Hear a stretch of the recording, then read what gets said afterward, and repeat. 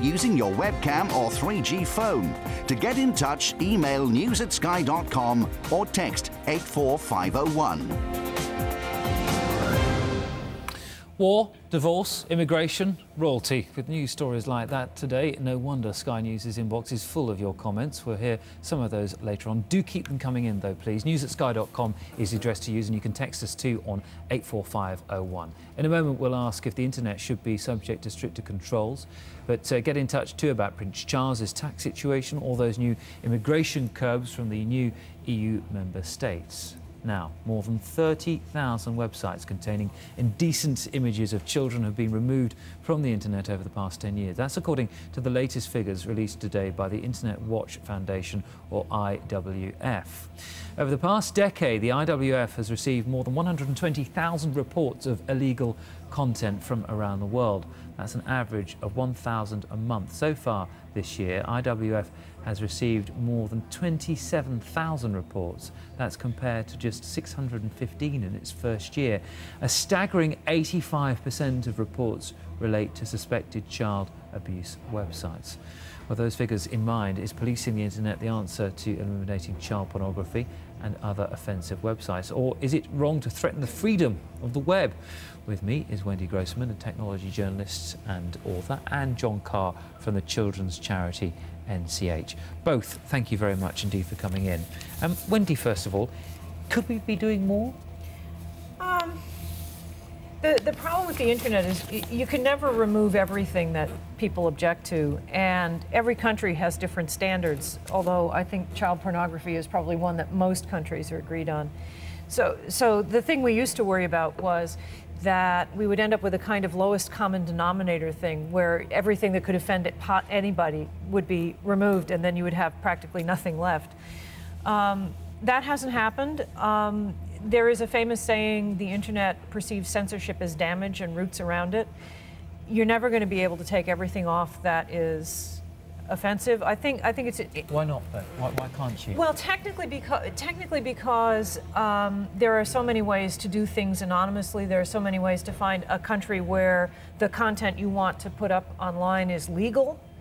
Um, as long Even as when it comes to the issue of child pornography, I mean, I know there are different ages of consent around the world, but I mean, th there must be an agreed level at which a child can't give consent, and therefore it is child pornography and shouldn't be allowed? Um, John would know more precisely John. than I do, but I don't think there is actually, a, a, there's no international treaty that says this is going to be the definition as far as I know. Well, the, the, there is the United Nations Convention on the Rights of the Child, which declares anybody under the age of 18 as being uh, in need of protection from the state, and they define the types of protection that children deserve and ought to get as including being exploited through indecent images, through child pornography. So, so there is an international standard, and most countries in the world observe the standard in theory, but sadly, as the IWF figures uh, are demonstrating all too clearly today, in practice, most of them don't do anything like enough to combat it. You know, the other point I'd like to make about those figures is they sound really staggering when you say 30,000 websites. But remember, there are hundreds of millions of websites. In, in terms of percentages, it's really very small. What struck me, though, when I was doing some research on this, and, and correct me if I'm wrong, but I understand mm. that an awful lot of uh, these dodgy websites are, are, hosted in the US. We're not talking about a country which is, is not a developed country where it's more difficult perhaps to police these things. 90% of spam comes from the US too. But you would have thought that America, yeah. having the, the, criminal justice system that it has, having the kind of intolerance one would have thought to child abuse, that it would be easy to clamp down in that country. There is intolerance to child abuse. Everybody is against child abuse. Not everybody sees child pornography as child child abuse. But the American authorities do, don't they, John? The American authorities do, certainly. 70% of all of the illegal images, all of the child pornography that's been reported here in Britain comes from two countries, America and, and Russia. America has been the biggest single, single publisher since records began. Now, uh, the good news is that the Americans are finally, and in a very welcome way, beginning to attack the problem in the same way that the British are doing. The British have got a tremendous reputation around the world for the serious way in which they've tackled child pornography. The Americans announced on the 27th September in Congress that they're going to copy the same methods as the Brits. John, you said finally, inferring mm. that they'd dragged their feet and, and, and hadn't well, been as quick as they, they could have been. Why was that? It's hard to. Uh, it's partly complicated by the First Amendment issue. Uh, in America, the First Amendment is regarded as sacrosanct. Which free remind speech. is free speech. Free speech. freedom And of speech, of assembly, of religion, of the press. so every time the government or, or an individual state has attempted to make a move, they've ended up in court. Grown people should be able to make a, an easy distinction between child pornography and freedom of speech. I mean, Really? they're- they're- yes, yeah, yeah. I, Well, I mean, I accept Are you, you. are you absolutely certain you would know child pornography when you saw it? Well, I, having never seen any, no. But I, but I would, I'm sure that there would be some images which I, which, which we could all agree There on. are some images on which you can agree, but the thing is, under the First Amendment, it's considered you can't, as, as a court, you can't go and, and say to somebody, you cannot put this, you cannot publish this material. That's called prior restraint, and it's very much against the Constitution. Um, so you would ha- you have to have a situation where something is put up and then somebody sees it and then somebody wants it taken down, which is exactly do you the system you're talking Yeah, about. Yeah, that's the way it's been. But the good news is, as I said, on the 27th September on Capitol Hill, the, the American agency, which is the sister body of the IWF, it's called the National Centre for Missing and Exploited Children, announced that they were going to copy the IWF system. Now, what that means is that they're going to actively intervene to block access to all known child pornography websites. Good idea.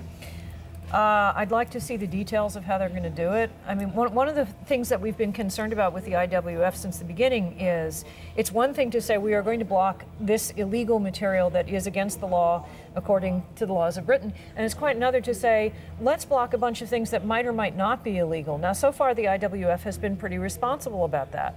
Uh, hang on, completely responsible. In 10 years, there has not been a single challenge to any decision that the IWF has made. The only has reason made. I said pretty responsible was that there was a, there was a, an incident a few years ago when they started talking about kind of expanding the remit. Yes. And they But they didn't, do it. They didn't do it. But there was this kind of, gee, we could Yeah. tackle hate speech and we could tackle these Yeah, other yeah, things that aren't true. necessarily illegal. What strikes me as interesting is that uh, I I think when Google went big into China, they sort of signed up and said, you know, we won't allow you to go to the pro-democracy groups and all this kind of thing.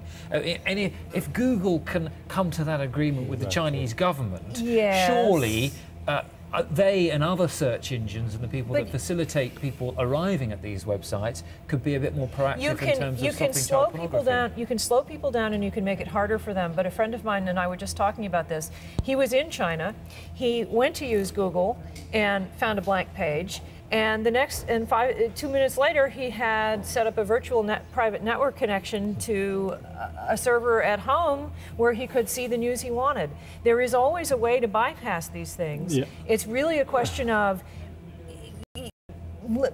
cutting down on it. You can't really eliminate it entirely. That may be true, but an awful lot of cutting down is what we need. It's true that friends like yours and possibly even I could, because of my technical knowledge, find a way around most technical obstacles that would be put in our way. But 98% of the human race can't. And if we can deal with that large volume, I think it's worth doing, even if it's not perfect, even if it's not 100%. Wendy, John, thank you both very much indeed for coming and uh, sharing your views. Uh, much appreciated. We uh, must move on. Lots of extra features on the Sky News website, including this one about the strange future.